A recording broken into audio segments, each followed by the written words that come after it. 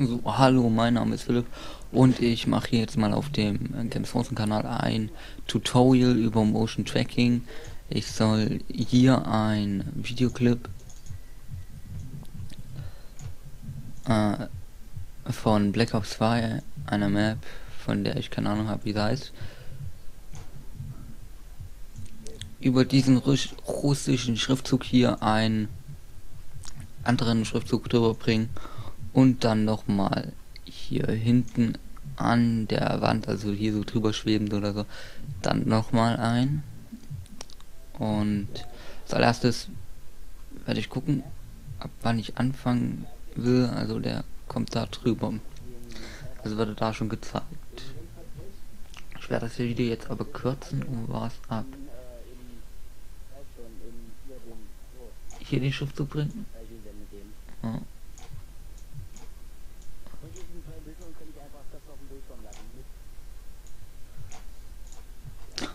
Und jetzt ziehe ich das Video einmal und äh, tu mir den Bereich rausschneiden, in dem dann das äh, ich werde mit Kamera verfolgen.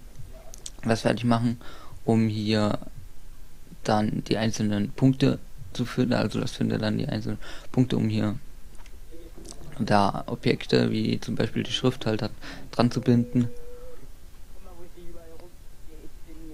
Bös. Ja, hier geht schon raus.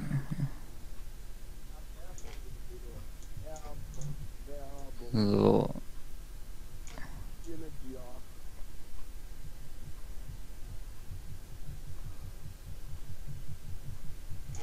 Und dann werde ich jetzt hier Arbeitsbereich Motion Tracking das Video auswählen, was gecrackt, gecrackt werden soll. Ja. Äh, ähm, und Kamera verfolgen. So, dann analysiert er das im Hintergrund. Also heißt, wir könnten jetzt hier auch noch an weiteren Videos arbeiten oder so. Also sind 365, 85 meine ich, Bilder und eine Minute. Na gut, mache ich keinen Schnitt. Hm, kann ich ja dann schon mal erklären hier. Gut, das ist ein bisschen Bild, aber ja. die Schrift ist ja dann hier hinter, also die schwebt über dieser russischen Schrift. Und dann, wenn ich jetzt hier das gleich mache, äh, dann ist hier einfach nur auf dem Bild drauf und verschwindet zum Beispiel nicht hinter der Hausecke oder dann auch dieser Laterne hier. Und da werde ich dann mit Masken arbeiten und diese Maske werde ich dann animieren zu dem Video. Das geht eigentlich relativ schnell, aber seht ihr dann auch.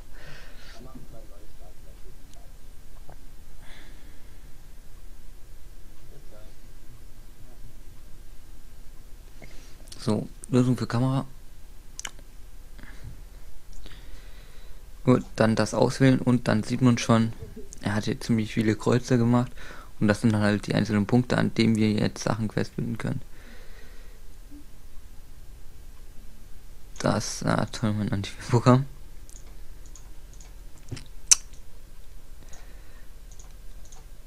Na. So.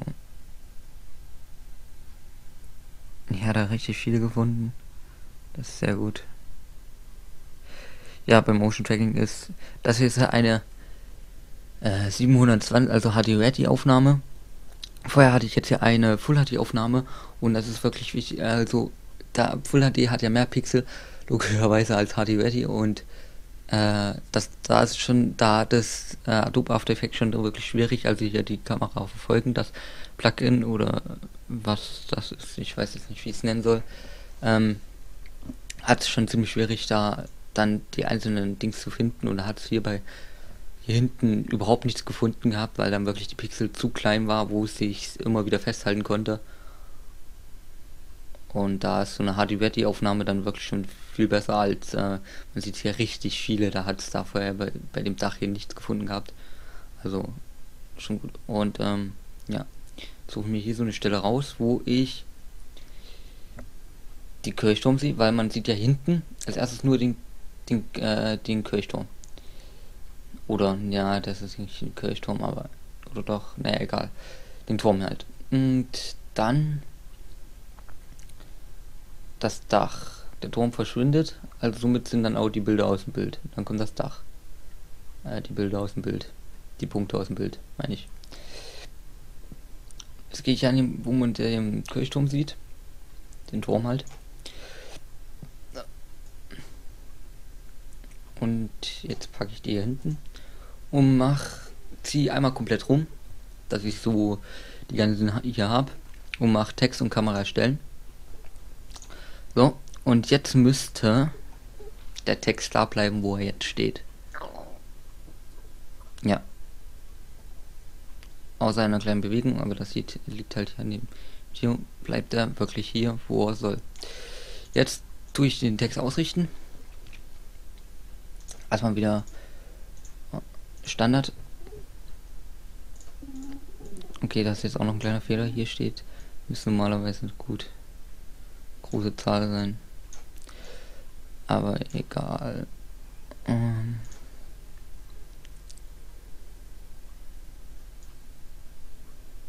so, hier stehen wir jetzt relativ relativ gut zu dem, wo ich das ausrichten kann.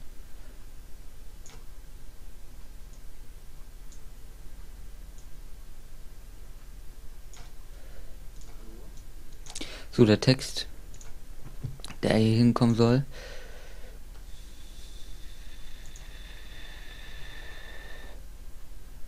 Na.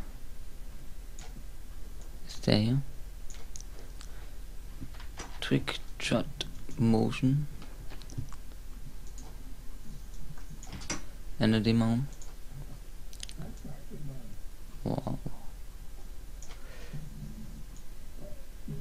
Okay, das ist kacke. Also um den hier nach ganz oben ziehen. Und dann nochmal neu. Die Aufnahme anwählen, dann das hier. Jetzt wieder zum gleichen da.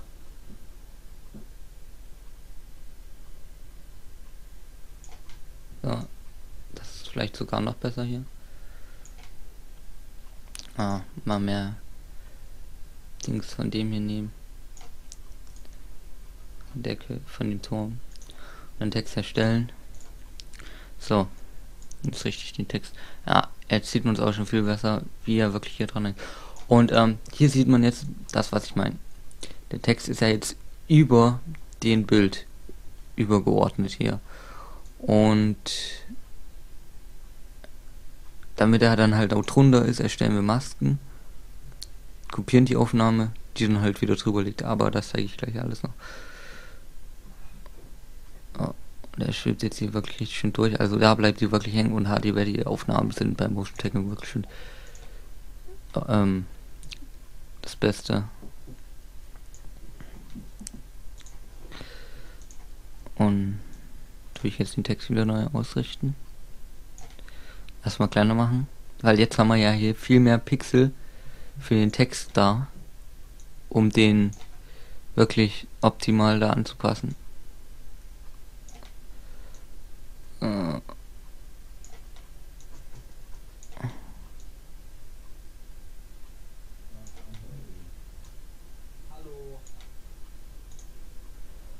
Dahinter kleiner hier mal das Textwerkzeug nehmen und den gleich auch schon mal umändern in dem. So, und jetzt war ich immer drüber und er ist, muss noch ein bisschen weiter zurück.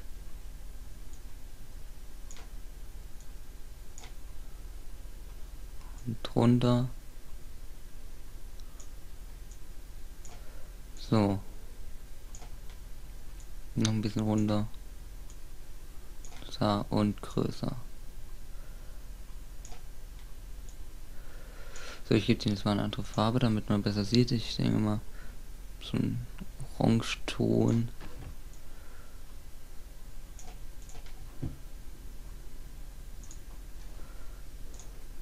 Dann kann man jetzt ja auch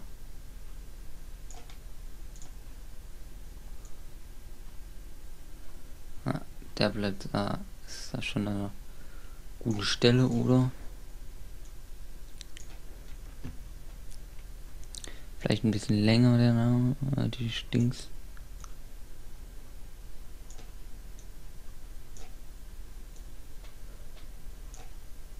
Muss man halt wirklich viel rumprobieren auch.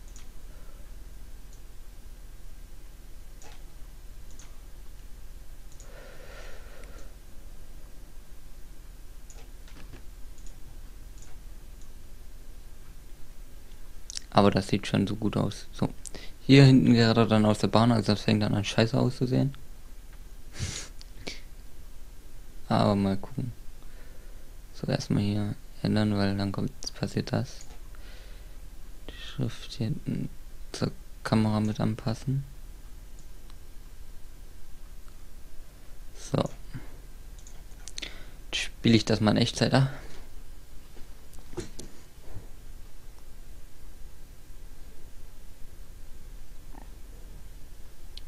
Gucken wir das mal so an.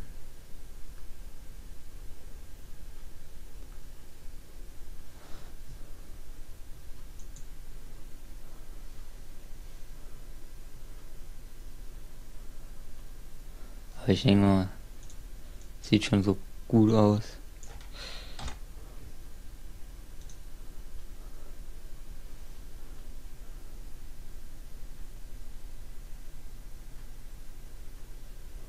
oder?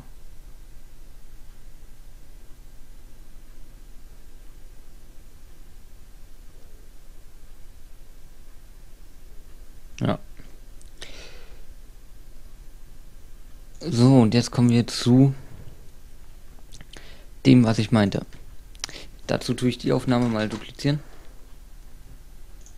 Gut. Und fange jetzt an, eine Maske zu erstellen. Erstmal bei der Kirche, die man hier am Anfang sieht. Und tu das hier ausschneiden. Ja, an der Kante entlang fahren. Ich sagte zum Kirche, aber Ton. Das ist ja mehr. Ja. Jetzt kommt die Schrift dazwischen und man sieht schon, dass ich einen Fehler gemacht habe. Das muss hier hin. Das muss dazwischen. So. Dass die Schrift dahinter ist.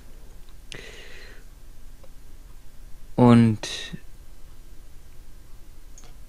wenn man jetzt hier guckt, der fährt ja jetzt immer mit. Und äh, da habe ich, das habe ich jetzt so gelöst. Ich denke mal, das ist die schnellste und auch einfachste Masken hier aufklappen und dann Maskenfahrt. Dann gehe ich hier mal ein bisschen rein, zu weit. Ja. Gehe mal so ein bisschen vor. Und nehme jetzt das hier einfach nur. Also tu wieder alle markieren, alle Punkte. Und dann kann ich ja alle Punkte markieren. Hm, nehme ich einen Punkt und kann die halt jetzt hier so da lang fahren und wieder dem anpassen. Und jetzt ist hier unten halt ein neuer Keyframe dazu gekommen. Und dann gehe ich ein bisschen weg. Wieder hier so einen Punkt. Kann den wieder hier anpassen. Und jetzt ist er schon drüber. Jetzt in dem Moment, wo er drüber ist, nehme ich das Ding einfach nur und schieb's weg. Außerhalb des Bildes. Ja. Jetzt mal abspielen. Und ja. Das geht, denke ich mal, so schon.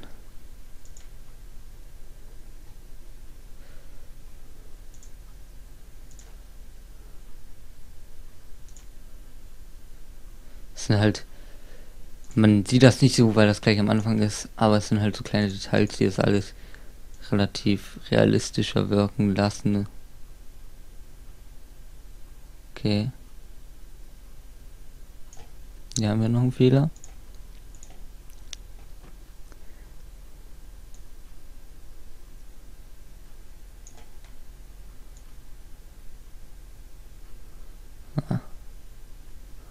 Und hier verschwindet die nach hinten, damit ich dann nicht mehr im Bild stört. So. Jetzt kommt das dran. Dazu nehme ich erstmal wieder Cursor machen. Hier die Aufnahme wieder, dupliziere sie. Mit Steuerung C markieren und Steuerung V oder Steuerung und D ist ja, Steuerung D ist dann gleich dupliziert, also wenn man Steuerung D drückt. Nach ganz oben. So. Und jetzt nach, nach hier unten ziehen. Gucken, ab wann das anfängt zu stören. Ich nehme einfach mal so ab hier. Ziehe wieder nach oben und erstelle jetzt wieder Maske. Na, irgendwas stimmt mit meinem Maus nicht. Mit Quadrat. Fang an. Das Ding hier.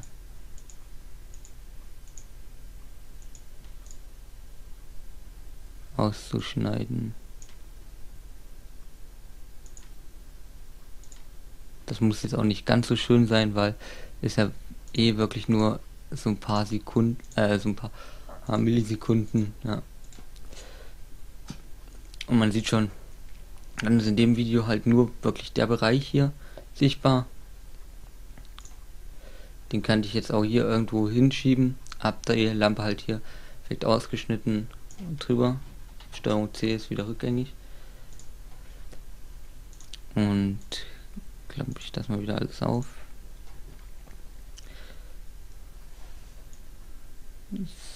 Ah, klar, Drücksteuerung C.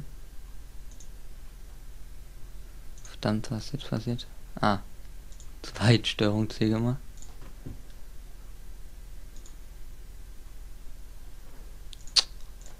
Ich wollte doch jetzt einfach arschen. Das wieder schließen hier. Ah.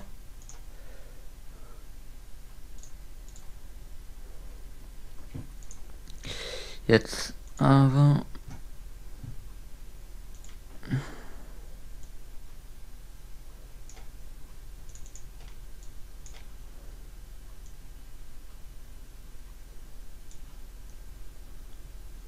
nimmt das und schiebt das da wieder so dran. Man kann ja auch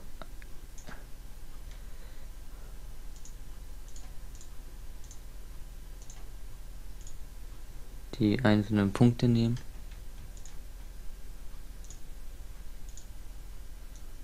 Und verschieben. Das geht auch alles. Ah, jetzt kommt's aber. Das ist jetzt das Wichtigste hier.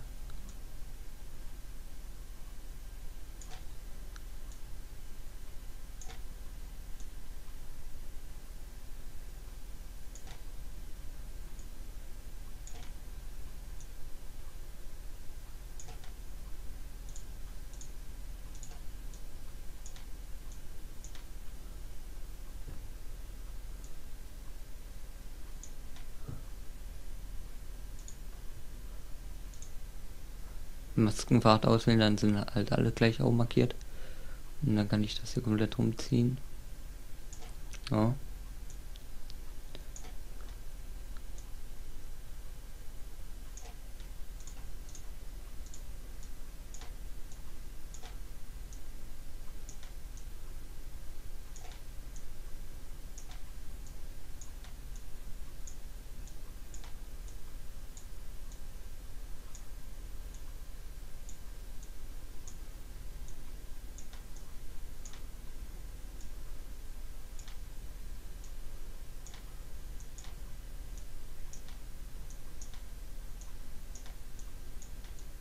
Die Ruhe.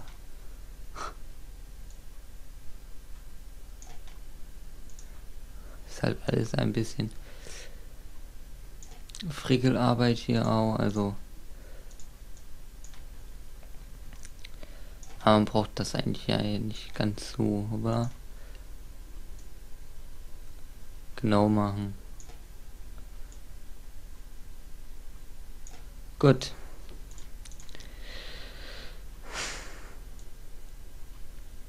Na, jetzt ist er halt dahin, dahinter verschwunden. Stört sonst noch irgendwas? Hm. Ja. Jetzt ist, haben wir das hier wieder. Jetzt ziehen wir einfach am Ende die hier wieder weg. Ganz raus. Und können auch noch die zwei auswählen und dann auch noch hier ab hier so beenden lassen. Damit sie halt wirklich ganz weg sind.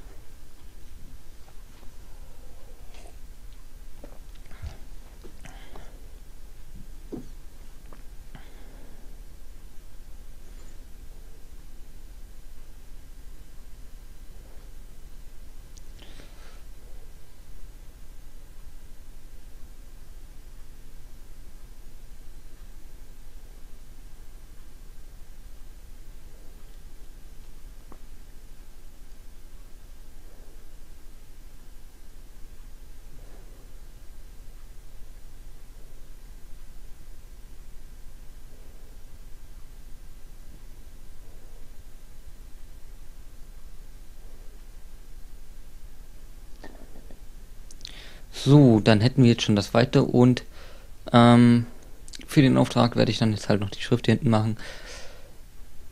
Äh, das Tutorial, ja, werde ich jetzt hier wenden. Also haben wir nämlich auch schon 21 Minuten schon wieder vorbei. Zeit rast da echt dahin, wenn man sowas macht. Und ja, gibt es noch irgendwas für Motion Tracking zu sagen? Eigentlich nicht. Nur so, das Warum das Kamera verfolgen heißt, kann ich auch noch mal zeigen. Weil wenn wir hier jetzt von oben machen und ich die Kamera auswähle, dann sieht man, die Kamera hat wirklich hier ganz viele, also bei jedem Bild, da waren es ja 185 Bilder, hat er ja gesagt, hat er immer wieder analysiert und dazu Keyframes für die Kamera erstellt. Und man sieht hier die Fahrt, hier ist der, der Turm und hier hinten geht es dann halt so um den russischen um, um die russische Schrift da drumherum. Und hier, das ist der Schriftzug hier. Da. Und da fährt er drumherum. Das ist auch in 3D.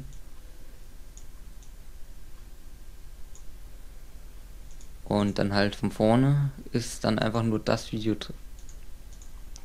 Das Video und das spielt dann ganz normal ab.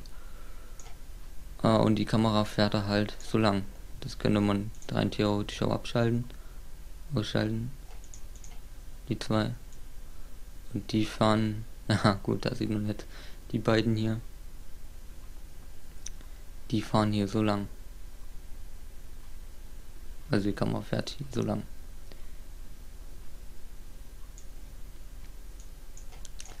Ja, gut dann mal schauen. Bis zum nächsten Mal, wenn ich mal wieder Tutorial über irgendwas mache. Mit Adobe After Effects. Und ja. Also, habe ich vergessen, ich weiß nicht, ob ich schon gesagt habe, dass dieses, äh, diese Methode nur bei Adobe After Effects CS6 geht. Bei den vorherigen Teilen, da ist das ähm, Kameraverfolgen nicht dabei. Ja, und das ist ja wirklich auch ähm, richtig easy und nimmt eine Menge Arbeit ab, weil vorher musste man wirklich diese einzelnen Keyframes in einem extra Programm machen und das dann alles wieder in Adobe After Effects einfügen, damit man das dann alles wieder äh, machen kann mit dem. Und das ist wirklich kompliziert und jetzt geht das ja in einem Schritt, vollautomatisch alles. Und ja, dann bis zum nächsten.